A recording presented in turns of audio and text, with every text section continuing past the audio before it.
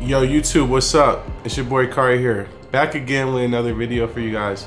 Today I'm to talk about five of the most common scams here in Medellin that you need to be on the lookout for. And my hope is that today's video will save you or somebody time, money, or their life.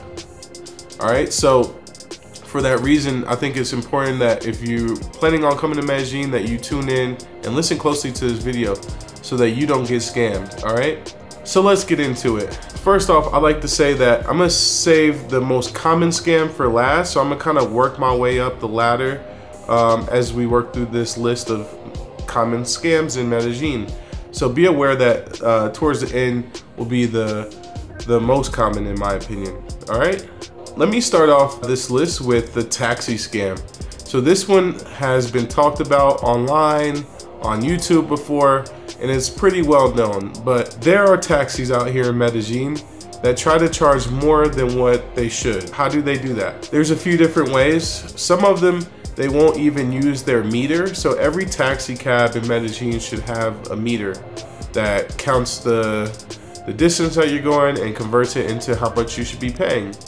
All right, so some taxis in Medellin will try to act like they forgot to turn that on uh, if they see that you're a gringo, they might let you get in the car and start driving and then maybe you've already been in the car for five minutes and you ask them about the meter and now you just got to negotiate a price with them. So they'll just throw out whatever they want to charge for that ride. Okay, and it's kind of leaves you with really no other option other than to pay for what they want or to negotiate with them. So it's happened to me and luckily you know i was aware of what i should be paying and the taxi you know, probably could tell that I wasn't fresh meat out here. So uh, he didn't charge me super anything too crazy, but they will try that. So if you get into a cab in Medellin, look for that meter. Make sure you see that it's on and it's running. Um, sometimes cabs will try to turn their meter off and then from the jump, they'll try to uh, negotiate a price with you. That I could respect because you know, they're not letting you get in the car and they're not deceiving you. Yeah, they want to charge you more than what they should, but you know, they're giving you an opportunity to say yay or nay, right? And to negotiate a price. So you'll see that happen uh, definitely around Parque Lleras at night um, or Provenza. There's always cabs lined up waiting to take advantage of people, charge them double, triple, quadruple what they should be paying for their ride. So the taxi cab scams is definitely up there on the list and one of the most popular here in Medellin. So yeah, be on the lookout for that. So the next item on the list is gonna be the Airbnb scams. Now, I hate to use Airbnb as the uh, poster child for this, but the reason I, it's not really the Airbnb as a platform scams people, is people in Medellin that post ads, usually not even on Airbnb, usually on Facebook, actually, or, you know, I've even heard of people that still use Craigslist.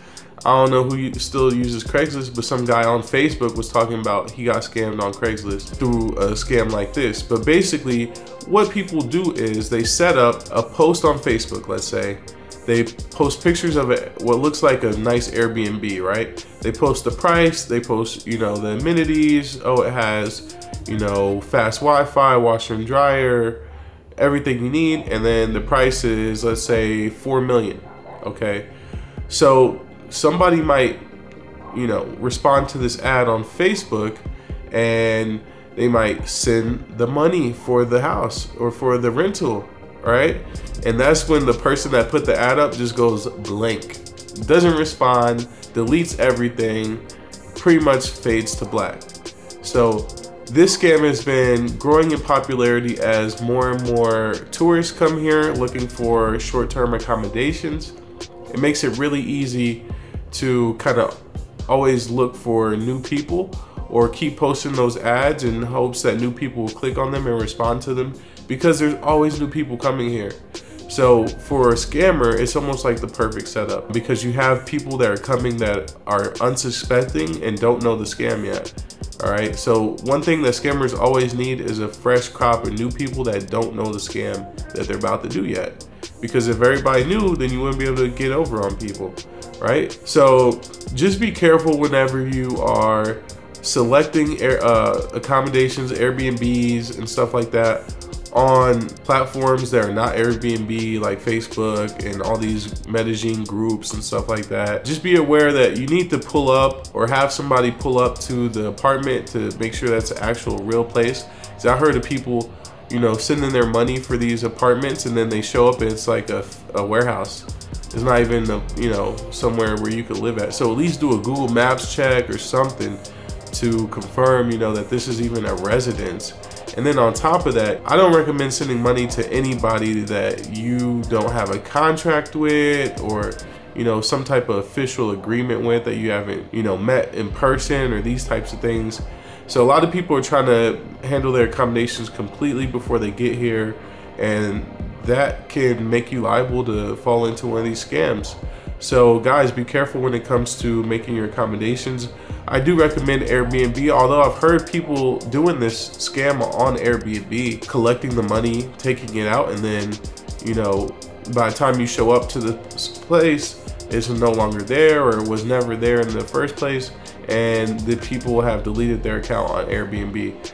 That is a little bit harder to do it on Airbnb, I would think, but definitely on Facebook, I know for a fact that this is happening a lot. Okay, so we've gone through two items on the list. Let's get into the third. So the third item on the list is going to be emotional extortion scams. So these are like the love scams that you've heard of. A lot of people, or in, in the news, you know, they always talk about Africans doing these scams where you know, they find a rich lady in North America and, you know, they chat them up and, you know, make them fall in love and then start asking for money. There was even a guy that did this all over Europe and they made a Netflix about him. Um, but they're basically emotional love scams, right? So you find people online that are looking for love. Now this can happen to you guys if you're not even in Colombia. So this happens to a lot of dudes that are coming to Colombia frequently but don't live here. And so they wanna have somebody to talk to or feel like they have a girlfriend or someone's waiting on them. So they seek out company on like a dating website. And so they might be talking to somebody, but of course they don't know who it is. It more than likely is some dude out here in the in the hood, you know, just chatting you up. And so sometimes they'll have their homegirl answer the FaceTime call or whatever, or stuff like that. You know, so there's it's a big scam. And so eventually they'll start asking for money. Eventually, they will start um, telling you situations that they're having that are not good, eventually to get money from you, right? And then when you get here, they might try something even more brazen. So guys, be careful when you're talking to people online, meeting people online. Just having a FaceTime call with them is not enough anymore. You need to know somebody that knows this person uh, that that has your best interest at heart. Like for example, like meeting girls at the mall. Okay, you know where that girl works at. So the chances of her scamming you or doing something weird to you is very low because you actually met her in person. You have a connection to where she works at, right? So guys, try to meet girls that you have some type of connection with, some type of mutual friend or something there that can um, kind of be like a buffer so that she knows that, hey, if I take advantage of this guy, then my friend that knows both of us is gonna kind of come in and intervene. So anyway, be careful meeting people online. Be careful doing the whole online dating thing. Out here in Medellin, it's very predatory. It's very predatory. Um, I always tell guys, meet women in person. It's always gonna turn out better for you. All right, so let's get into number four on the list, guys. Moving right along. So the number four item on the list is going to be police roadblocks and or extortion uh, situations. Basically what I'm talking about is anytime that the police try to stop someone and uh, extort money out of them. So they do it in roadblocks sometimes. Sometimes they might see a situation that they could exploit and take advantage of and they just pop out of the bushes or pull up on the motorcycle you know and you know tell you a whole bunch of bs about you know how they're gonna communicate with migration and tell you that you won't be able to um, come back to Colombia because they're gonna report you to migration for smoking weed and this type of thing. And like it happened to me, I was with my friends, they were smoking weed and a cop pulled up you know and so the cop starts talking to everybody but the cop starts getting super mad like you can't disrespect the country like this. You guys just come here and abuse the country. I'm like, dude, motherfuckers are smoking crack on on side the freeway. Like, what do you mean we are disrespecting the country? Like, smoking some weed on the street is not disrespectful. Even in my country, that's not disrespectful. So you, you know, he was obviously just like blowing it up to to to scare me and my friends, right? Because he figures like the bigger deal he makes it, the more he can scare us, the more we're likely to pay him money. Yeah, this types of things happen a lot, right? And then so they'll they'll do this whole big show like, oh, we got to report you to migration. You gringos this, you gringos that, or you know, it could be a whole bunch of different uh, stories that they go with. You know, the cops are very creative nowadays. But in the end of it all, they just want money most of the time. And, you know, my opinion on this is that you should try to calm the situation down and uh, tell the cop, you know, like you're not trying to disrespect the country, you know, in, in your country, you know, it's not like this. And so, you know, with all due respect, that wasn't your intention type of thing. Uh, you have the utmost respect for Colombia. You want to be able to return um, and more than likely, they're gonna keep giving you a hard time until you give them a little bit of cash. You know what I'm saying? So it is what it is. You know, I won't speak too much on that, but it's something to look out for. It could happen, like I said, in a roadblock. It could happen with the cops just pulling up on you or a traffic stop or anything. You know, anytime that you encounter the cops where they stop you and you're not like, sometimes I go up to the cops just to ask them a question, you know, but if they're coming approaching you, then they're probably gonna hit you with some extortion, scam, or some type of BS. So be on the lookout for that um, here in Medellin. Okay, now we've arrived at number five or number one, whatever. It's the most important, the most common scam in my opinion here in Medellin. It's one, it doesn't come as a surprise, guys. It's gonna be the scopolamine drugging and robbing, right? Here in Medellin, we have a big problem now in terms of scamming, uh, in terms of poisoning, all right? It's grown in popularity. I start seeing more and more news stories about this every single year, it seems like. But yeah, Medellin is become the epicenter for drugging and robbing um, unsuspecting tourists or gringos, you know. So how does this work? You know, you solicit a girl on Tinder, you know, thinking she's regular, maybe even on Facebook or whatever, Colombian Cupid or whatever, right?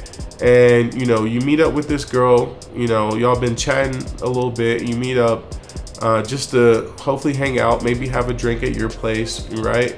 You know what you really want, but let's just say having a drink at your place, right?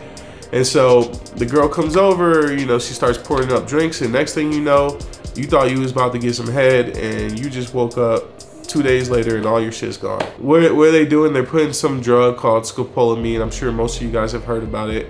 They're putting that in your drink, or maybe they're blowing it on you. I don't know exactly their methods, but it'll make you pass out for a long time, enough time so that they can take your laptops, computers, phones, anything of value that you have in your apartment, right? So this is the number one scam in Medellin for sure. And what can you do to avoid this? For one, stay off of Tinder.